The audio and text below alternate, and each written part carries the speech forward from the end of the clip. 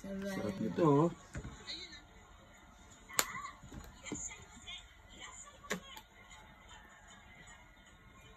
Yum, yum, yum. Chef Bailo, bro. Chef Joseph. Chef Joseph. Okay, kain tayo.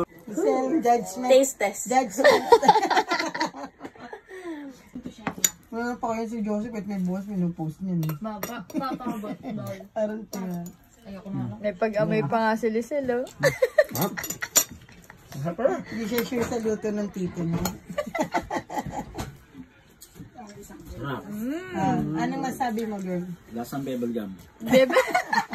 11 out of 10. Alam mo na, Joseph, ha? Kumakain ka na Yun mama. ang inulit pa pag subo, masarap nga. Ano mas totoo talaga? Masarap sila sa Rios. Hi! Pagaling. Magaling nga. Kain na kayo.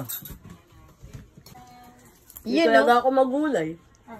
Pero kumain ka ng gulay. Yun, no? So, masarap nga siya, guys. sauce ba? So, Ay!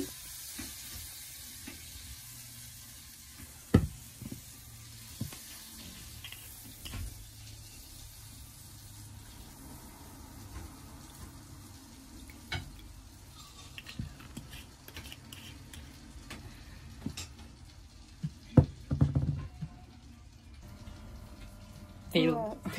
What happened? Failed pancake shape. What's your ingredients on your with your pancake?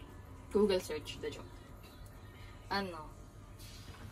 Flour, butter, sugar, sugar, salt,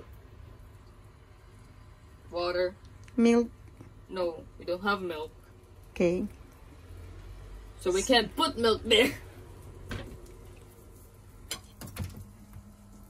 It looks delicious. Even though without the milk. Chocolate can save the day.